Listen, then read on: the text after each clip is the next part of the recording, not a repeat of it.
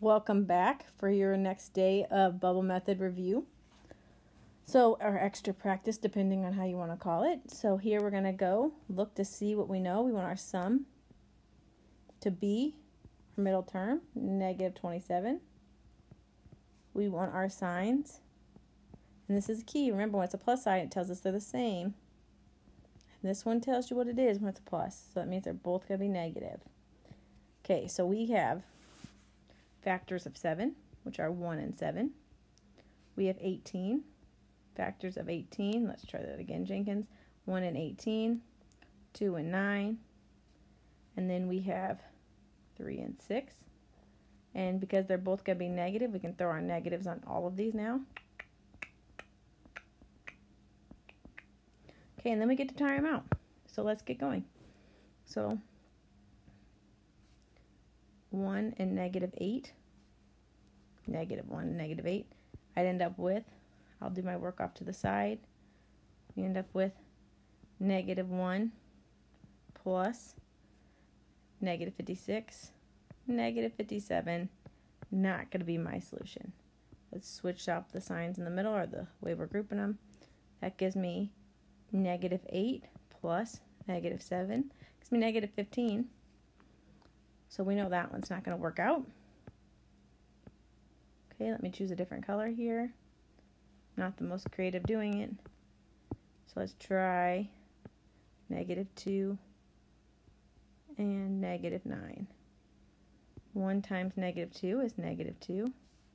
7 times 9 is going to be negative 63. Negative 65. Connect these. We have 1 times negative 9 is negative 9. 2 times negative 7 is negative 14. I wrote 15. Whoopsies. We add those together and you get negative 23.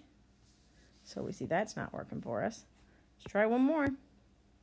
Oops, I did it again. I know you missed my singing.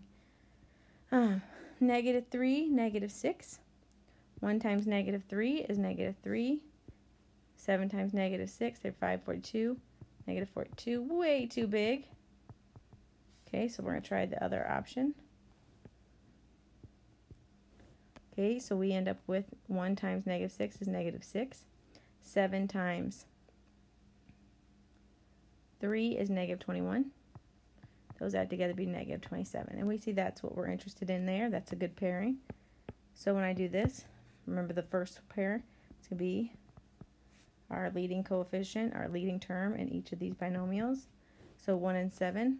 Ooh, these are with b's. I put x's. It's not a big deal, but for the sake of us not being confused, I'm going to go back. 1b, 7b. So let's see which ones don't look like that. So the first one has a 1b and a 7b. The second one has a 1b and a 7b. The third one, we obviously proved that not true. And the fourth one has a 1B and a 3B, so we know that one's. So we're down to A and B as our options. Um, and then we know the ones that are grouped together, the ones that are not going to be in the same parentheses, are the ones that have the line drawn. So 1 and negative 6 have to be in separate parentheses. 7 and negative 3 have to be in separate parentheses. And here we go.